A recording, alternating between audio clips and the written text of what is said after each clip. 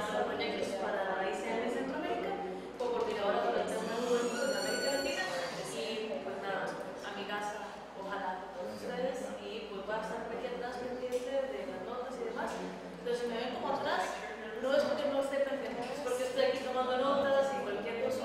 Yo creo que lo más importante de hacer la, este tipo de actividades en las sedes de nuestros sindicatos bases es justamente volver a eso, a las bases, ¿no? a que los, eh, representantes sindicales tengan la oportunidad eh, de compartir experiencias a nivel internacional, pero también de compartir en las casas eh, madres de nuestros afiliados.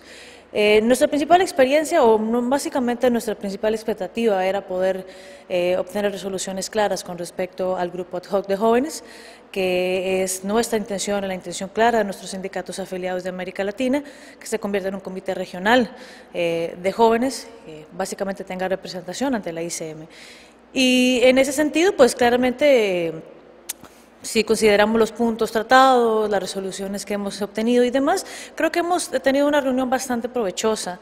Eh, con el aditivo, que como ya he comentado al principio, de esta participación que hemos tenido eh, en la casa madre de uno de nuestros sindicatos base, que además es sindicato de anfitrión, en esta oportunidad que tuvimos la, pues la bendición de poder participar eh, en Panamá y pues claramente tener la casa de uno, de nuestros afiliados para hacer este tipo de actividad.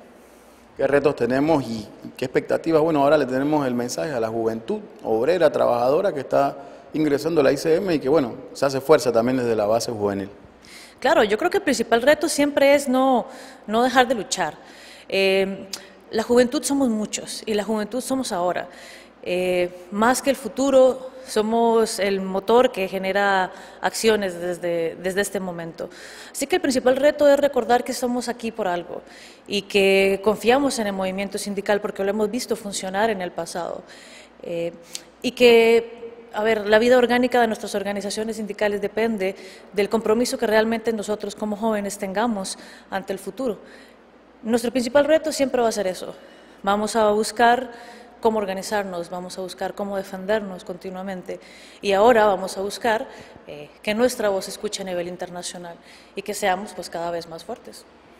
Bueno, para nosotros realmente es un agrado pues recibir a las delegaciones internacionales en esta segunda reunión eh, de Comité de Juventud, Grupo Ad Hoc. Eh, estamos trabajando en la articulación de, nuestros distintos sindicatos, la cual eh, hay una tarea fundamental pues, de ganar espacio.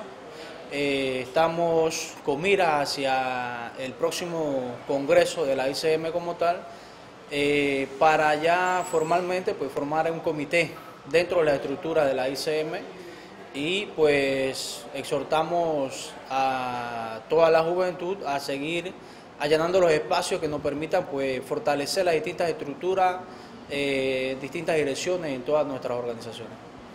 Compañero José Palacio, también el mensaje que le damos a todas las juventudes obreras de parte de la ICM en este importante momento que vive ¿no? la lucha de los movimientos sindicales en busca de las transformaciones y de los derechos que nos asisten.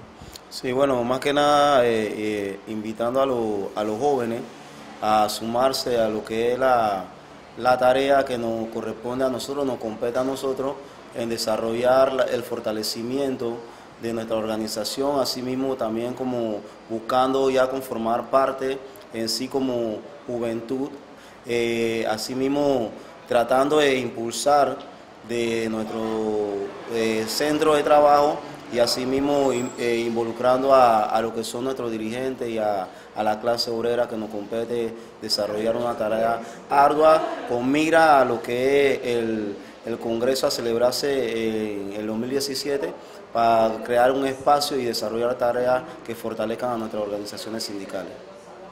Bueno, eh, estamos muy, muy agradecidos, muy contentos de estar acá en Panamá, ¿cierto? En, la casa del, del Suntrack. Eh, hoy día nos hemos reunido un grupo importante de jóvenes de Latinoamérica y el Caribe, ¿cierto? Eh, trazando un camino que hoy día somos un grupo ACDOC.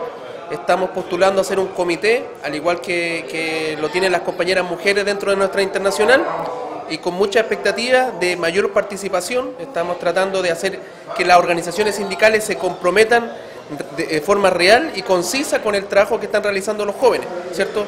Estamos viendo, hemos hecho un diagnóstico a nivel de Latinoamérica y el Caribe sobre la realidad de los jóvenes trabajadores del sector de la industria de la construcción y las actividades conexas y vemos que eh, es una realidad bastante desalentadora, eh, mucha cesantía, falta de oportunidades, falta de capacitación, falta de educación, eh, gobiernos que no están en sintonía con la demanda del, pueblo. Entonces, tenemos un, harto trabajo que hacer eh, por parte de las juventudes para poder fortalecer nuestras organizaciones sindicales.